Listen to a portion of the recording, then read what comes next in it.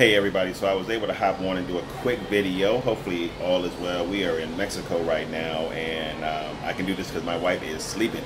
So we had a late night last night and man, I don't know, I think, man, you know what you guys, we might have gotten to bed at like four or something. It was crazy. Um, but it was a fun night last night. We, we did a lot of stuff.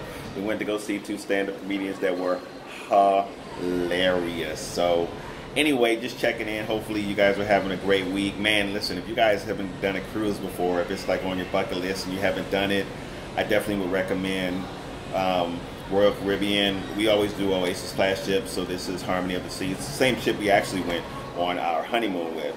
Um, so we're back for our anniversary and we're having a ball. If you go though, if you go, man, make sure that you you do nothing less than a junior suite. The junior suite is really really spacious uh, and it's really nice. It's a nice upgrade. It puts you kind of in that um, that suite class, albeit it's the it's the bottom of the suite class, but it's the suite class, and the rooms get considerably smaller when you get out of that class. So um, make sure that you guys go junior suite and get a room with a balcony too.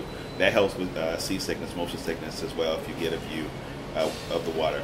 But anyway, man, we've been having a great time. Um, so uh, some of you guys I think are following me on Instagram. I've been putting stuff up there as well. So if you want to just kind of check in from time to time, see what's going on, then hop over to Instagram and you can see the link in the description for that.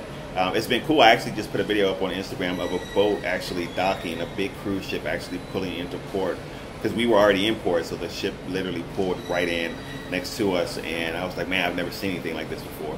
But man, we're having a ball. I'm, I'm, I'm I am dumbfounded by the level of coordination it must take to pull off all the things that are going on on the cruise ship. This ship is massive, and there's just so many moving parts from from the hospitality of the staff to the responsiveness of the staff. If you need some help, everybody's always all smiles. It's it's it's amazing, man. So anyway, this is just kind of like a quick midweek check in. So next week we'll be back in business and um, you know get more videos out on the channel.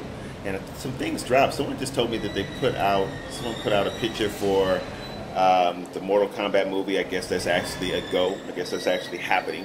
Heard it was happening, but I wasn't sure. So anyway, I'm going to Johnny Rockets. Man, I'm, I'm telling you, I'm probably gonna put put on like 40 pounds on this cruise because there's there's food for days.